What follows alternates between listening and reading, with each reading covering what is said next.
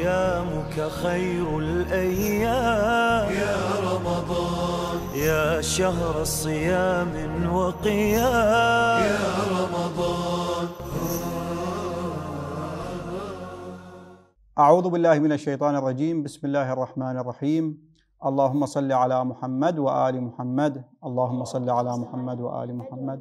السلام عليكم ورحمة الله وبركاته أعزائي المشاهدين وأهلا ومرحبا بكم وأيضا نرحب بضيوفنا الكرام ونقول لهم أهلا ومرحبا بكم وحياكم الله. وقد ورد عن رسول الله صلى الله عليه وآله في فضل الصيام يعني في ثواب صيام شهر رمضان أنه قال أن الصيام جنة من النار يعني أن الصيام في شهر رمضان يكون حاجب للإنسان يوم القيامة عن النار بفضل هذا الصيام.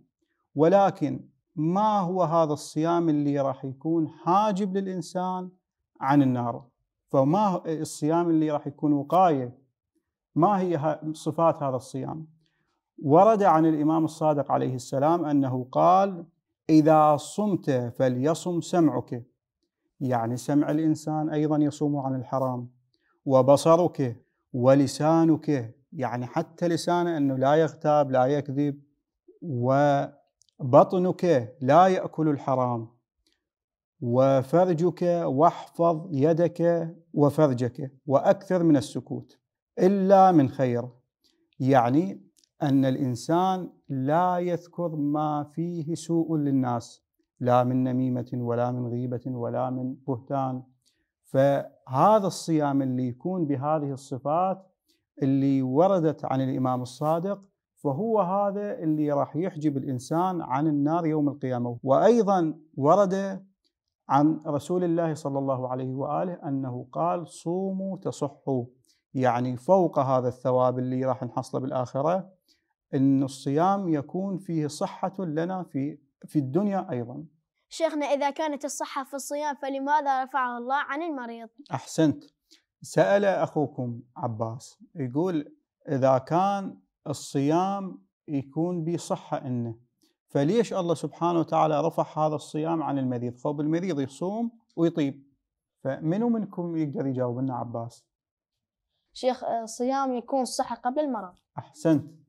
جاوب أخوكم هنا يقول الصيام هذا اللي يكون صحة للإنسان هو اللي يكون قبل المرض يعني من باب أن الوقاية خير من العلاج فإذا الإنسان صام فما راح يقع في إمراض أما إذا لا تمرض فبعد ما ينفع الصيام ما يفيده بشيء وأيضا نضيف على ذلك الجواب أن للصيام ثلاث مراتب يعني حسب ما قسمته الروايات الواردة عن أهل البيت عليهم السلام. الأول أنه صيام الجسد يعني أن هذا الطعام صيام الطعام والشراب يعني لا تأكل ولا تشرب.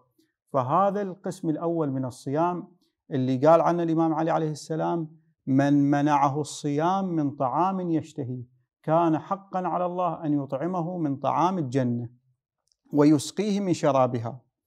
والصيام المرتبة الثانية صيام الجوارح. وهذا الصيام يعني أن الإنسان يكف جوارحه لسانه عينه أذنه. فهذا الصيام أعلى من صيام الجسد. والمرتبة الثالثة صيام القلب وهذا هو أعلى المراتب. فأقرأ لكم رواية الإمام علي عليه السلام أنه قال صوم القلب خير من صيام اللسان وصيام اللسان خير من صيام البطن. فإذا الصوم الحقيقي هو صيام الإنسان عن معاصي الله. فإذا صام الإنسان عن معصية الله كان هذا الصيام فيه صحة له في الدنيا والآخرة. لعل هذا المراد من حديث النبي صلى الله عليه وآله صوموا تصحوا فالصيام عن معاصي الله وعن التفكر في معصية الله هو هذا خير الصيام وهو هذا الصيام الحقيقي. آه إن شاء الله يكون الجواب يمكن واضح.